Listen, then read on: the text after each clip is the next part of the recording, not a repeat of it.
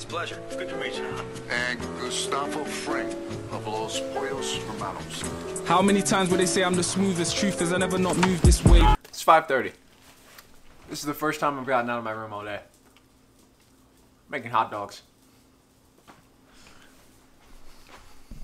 To be fair to me though, it has been snowing and nasty all day. It's just starting to get kind of decent. And yesterday's vlog was a big one, so I'm still putting that, all that together.